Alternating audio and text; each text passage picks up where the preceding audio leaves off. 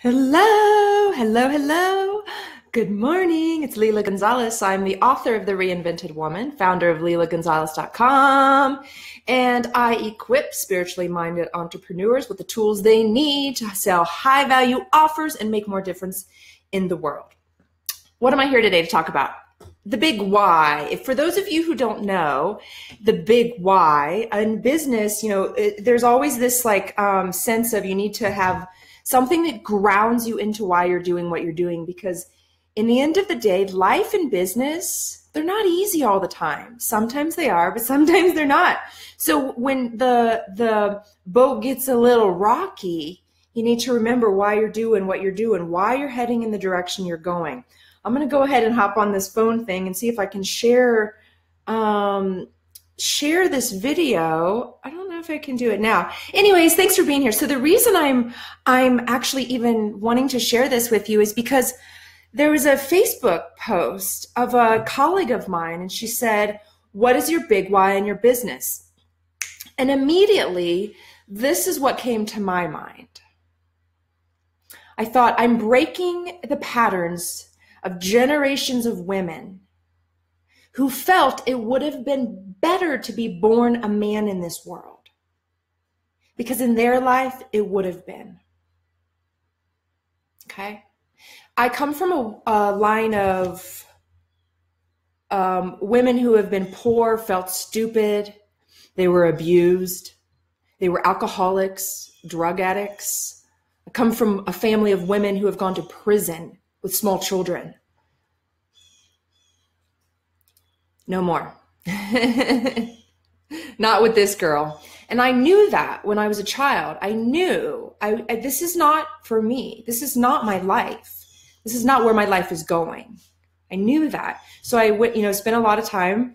Uh, I never really knew why I was doing what I was doing. I spent a lot of time in academia, uh, in academic pursuits. Was very good in school, uh, high achiever, cheerleader, the top cheerleader even at the end of senior year.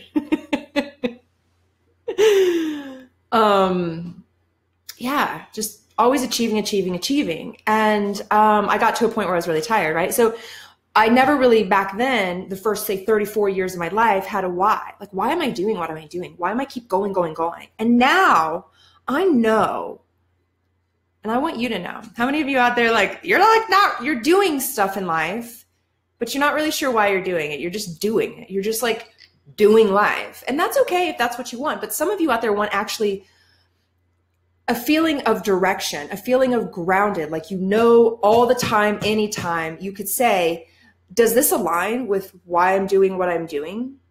Why I want to do what I'm doing? So, why I'm doing what I'm doing is I'm breaking the patterns of generation of women who felt it would have been born or better to be born a man in the world. And it doesn't it's not about men versus women whatsoever. It's about the feeling of the women inside of their self-worth. Okay. And you can see I get passionate about it. I felt my face get really serious. I recently realized I was an intense woman. I didn't realize that until recently. Okay. So, yeah. So, self-worth. And that's really a big part of what i what i do and what i do in my life and what i help other people do. Increase your self-worth increase your net worth increase your bank account increase the amount of uh, impact you make in the world even. Um, and so, how do you figure out your big why? Oftentimes, it's hard to get where you want to go unless you know why you're doing what you want to do or why you're doing what you're doing. So, uh, one of the most popular, I think the number one, or no, no, no, no, I think it's the number three TED Talk is Simon Sinek, and it's about uh, the the what, how, and why. And this it's a target, and basically you can look at it. I can put a link below, but the idea is like everything in your. I think I'm in my position is everything in your life what you eat, what you wear, who you talk to, what you watch, what you put in your body, what you put on your body, the thoughts you think, all of it, what you have on your bedding, how much you get hugs. Um, I mean, all of this stuff. It's like, does it fit into your why? And my why is I want to break the patterns of generation of women who felt it would have been better to be born a man. They felt low self-worth. It doesn't have anything to do with men, um, you know, putting women down at all. It's about the women not feeling worthy of more. and I felt that for a long time. And, and why, now I know why I'm doing what I've been doing all this time.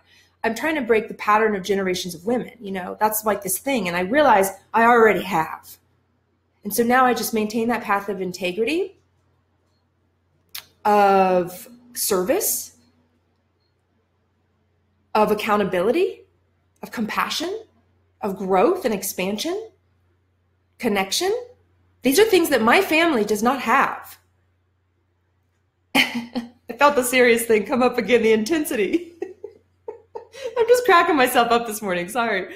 I love this. I just had this big aha recently with the past few days that I was like, I think I'm kind of an intense person. And I told a couple friends and they were like, yeah, you're intense. Um, and I, and you know, and I would say, um, oh yeah, that's okay. I want all of you to be you, as fully as you as you want. And, and if you're intense or if you're shy, whatever, just be you. Um, and be around the people who who are okay with it that kind of you that that true you. You're kind of weird. I love your kind of weird. Whatever your kind of weird is i love it. So back to your big why. How do you find out? How did i find out my big why? Like i you know a, a bachelor's degree in environmental science a, a, master's degree in environmental policy. I spent years in uh, engineering construction management uh, uh, environmental policy, PhD work, uh, uh, yoga. I mean, all of this stuff, business, entrepreneurship. It's like, why the heck am I doing all this stuff? Why am I not just chilling more? Right? I'm like on this mission in my life. Like, I want to show myself that I'm worth more, to be honest. That's really what comes down to. And when I show myself I'm worth more, I can show you you're worth more because I see the gold in each one of you. I just do because I'm working on seeing the gold inside myself. And I want each one of you to see the gold within you. And so um, that can be hard sometimes when you don't know your why. So, how do you find your why? I know I keep alluding to this. You just keep asking, why? So, let's say you have a business, you want to start a business. You ask, like, well, why? Oh, I want to make more money. Well, why do you want to make money? Oh, uh, well, I want to feel safer. Well, why do you want to feel safer? Um, oh, well, as a kid, I didn't feel safe. So safety is really important to me. Right? And everything for me kept coming back to that. As a kid, I didn't feel safe. I didn't feel abundant. I didn't feel worthy. I didn't feel smart. Straight A student, didn't feel smart. Right? So I am willing to step up and do this work on myself and for others to say no more. You are worthy. You are worth whatever you want to put your mind and energy into Okay. So that's uh, so another big why. So maybe you want to help people. A lot of people come to me. Uh, a lot of my clients, when they first come to me, they want they're like, I just want to help people. I'm like, okay, well, why do you want to help people? Well, they need help. Well, why are you the one to help them? Oh, for me, I can help you maybe, right? Because I've experienced pain, I've experienced darkness, and I'm okay with it. I know how to shift it.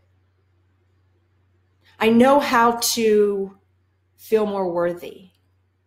I know how to pursue endeavors that are worthwhile.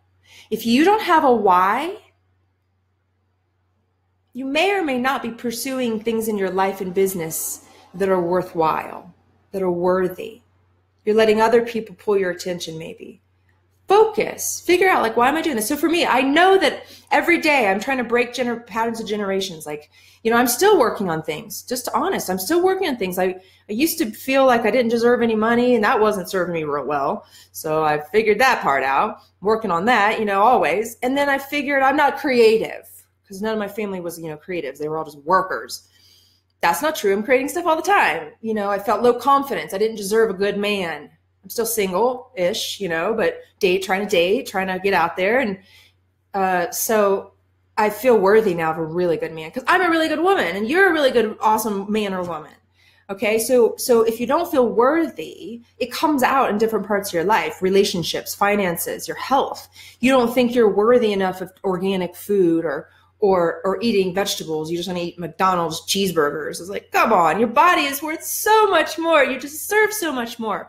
So your big why. So for example, if your big why is like um, a lot of people's big whys are children, or maybe their spouse, or the mother or mother earth you know and so just ask yourself all the time the actions you're doing the business you're doing the the people you're around what you're putting in your mouth how you're you know moving forward are you for me the question is am i breaking the cycle of generations of women who thought it would have been better to be born a man am i showing myself basically that i'm worth more am i being sweet to myself am i loving myself Am I holding myself to a high standard of accountability personally and with others?